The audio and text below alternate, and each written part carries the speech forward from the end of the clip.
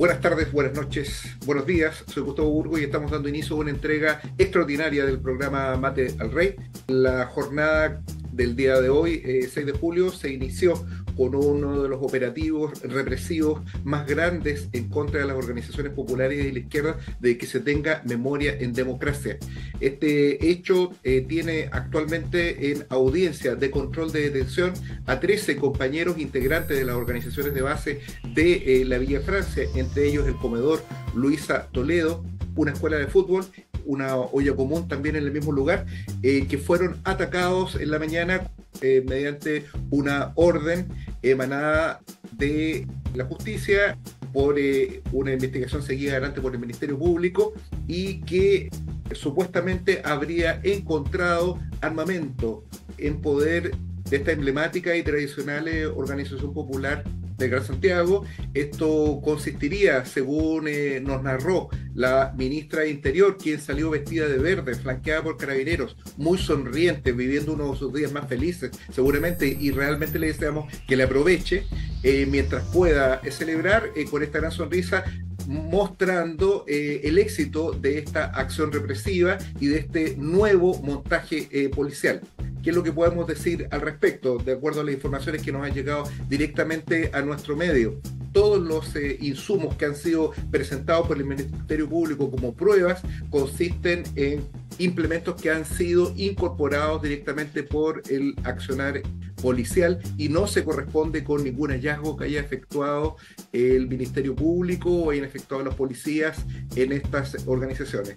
Esto en este momento tiene precisamente como eh, tema fundamental de discusión la legalidad de la detención y el Ministerio Público obviamente está pidiendo la prisión preventiva para los 13 detenidos. Dentro de ellos se encuentran fundamentalmente, como ya lo, he señalado, activistas de eh, la radio Villa Francia, del comedor eh, popular y la olla común Luisa Toledo.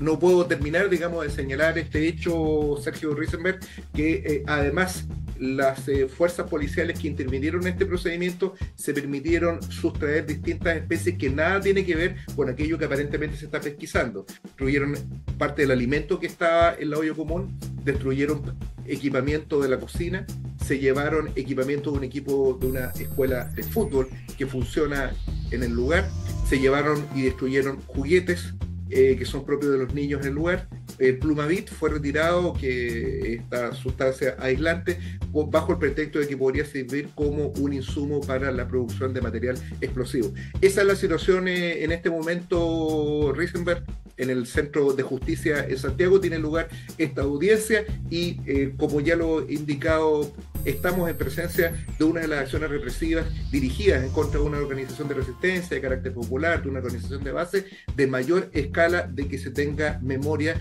después del término de la dictadura. Yo solamente quiero agregar, eh, licenciado, que nos llega información interna por parte de gente que estaba ahí, que es posible que se, eh, estén desarrollando también montajes, han aparecido cartuchos eh, de la nada, se han tratado de culpar a gente de tener armas en sus domicilios, se han allanado sus domicilios no se han encontrado nada y al parecer eh, en, algunas detenciones se empiezan a caer esas acusaciones hasta el momento.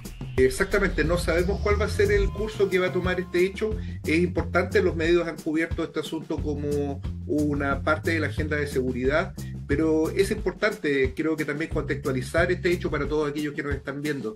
Primero, esto es igual que en el poema Sergio Risenberg, igual que en el poema de Bertolt Brecht Primero se llevaron a los mapuches, eh, destruyeron sus organizaciones, los sometieron militarmente, los criminalizaron a través de, los, de, la uniformidad de los medios de comunicación, pero a mí no me importó porque no era mapuche. Luego fueron tras los campamentos y las tomas de terrenos, como ocurrió el 16 de mayo pasado con la toma 17 de mayo, los más de 200 pobladores que estaban ubicados en esta locación fueron desalojados en un pomposo y escandaloso eh, operativo policial, pero a mí tampoco me importó porque yo no era poblador. En este momento están yendo en contra de las organizaciones populares y de base y en contra de los medios independientes. Nosotros como eh, Mate al Rey y como Revista El Porteño hacemos expresiva nuestra solidaridad para con estas organizaciones populares y especialmente también con la Radio Villa Francia, que es un medio independiente, un medio popular, que pugna precisamente por poner un talante y una línea distinta. Acá lo que está quedando en evidencia, Sergio, es que este régimen no permite ningún tipo de oposición. La única oposición que se permite es la oposición de la derecha, la oposición parlamentaria, en que discuten la manera más eficiente de dirigir la represión en contra del pueblo y de servir mejor a los intereses del gran capital. Pero todo aquello que signifique un cuestionamiento al régimen está totalmente vedado. Esta situación es grave y es alarmante, Sergio Rosenberg. Bueno, todo nuestro saludo, nuestro apoyo, solidaridad y estaremos siguiendo el curso de los acontecimientos. Un gran abrazo a la gente de Villa Francia, un gran abrazo a la gente de Radio Villa Francia, todo nuestro apoyo en estos momentos duros en que están enfrentando.